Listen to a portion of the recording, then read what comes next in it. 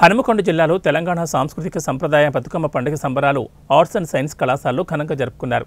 ఈ కార్యక్రమానికి కాకతీయ విశ్వవిద్యాలయం ఉపకులపతి ఆచార్య తాటికొండ రమేష్ సత్తి సమేతంగా ముఖ్య అతిథిగా హాజరై బతుకమ్మ సంబరాలను ప్రారంభించారు.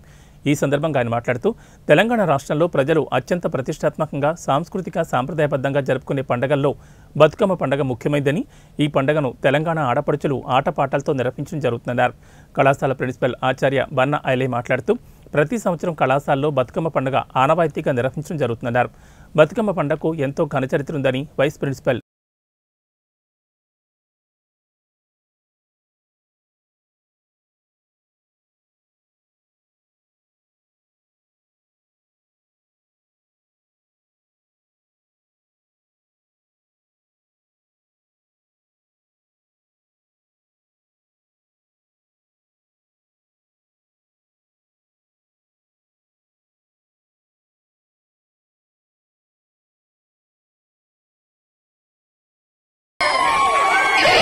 Thank you.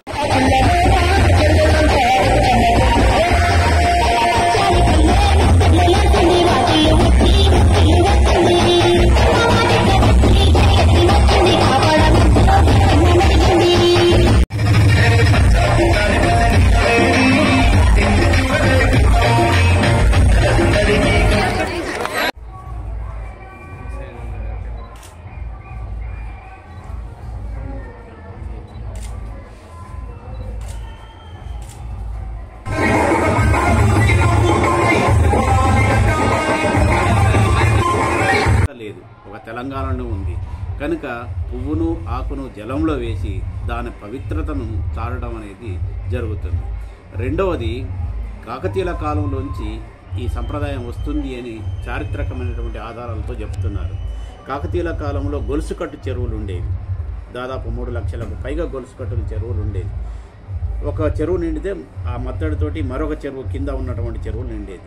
ఈ చెరువుల పరిరక్షణకు బతుకమ్మ అనేటువంటిది ఒక పండుగ ఏర్పడింది అని అంటారు. ఆ చెరువులో ఉండేటువంటి చెత్త చెదారాన్ని తీసేయడం. ఆ కాలంలో అంటే ఇప్పుడంటేనో మనకు మిషన్ భగీరథ ఉంది. ఈ మిషన్ భగీరథ ద్వారా ముందుకు పోవాలని వికసించి పుష్పించాలని కోరుకుంటూ ఆ రకంగా తెలంగాణ ప్రభుత్వము ప్రవేశపెడుతున్నటువంటి అనేక సంక్షేమ పథకాలు కానీ అభివృద్ధి పథకాలు కానీ ప్రజల యొక్క ముఖాలలో చిరునవ్వు చూసే రీతిలో ఈ ప్రభుత్వం పోతుంది. అందుకు అనుగుణమైనటువంటి సమాజాన్ని మనం నిర్మించుకోబోతున్నాం. దానికి ప్రత్యక్ష సాత్కారము మన తెలంగాణ రాష్ట్రం సాకారమైన తర్వాత మనకు ఈ రాష్ట్రంలో ఒక జల విప్లవం అనేది వచ్చింది ఒక వ్యవసాయ విప్లవం వచ్చింది. దాని ఆధారితంగా మనకు హరిత విప్లవం ద్వారా భారతదేశంలోనే ఒక ఒక కా- ఒక ధాన్యాగారంగా మనం ఇవాళ చెప్పుకో చెప్పుకుంటున్నాం అన్న విషయం కూడా మనం గుర్తుంచుకోవాలి. కాబట్టి ఈ బతుకమ్మ స్ఫూర్తితోటి మరింత మనం కష్టపడి మరిన్ని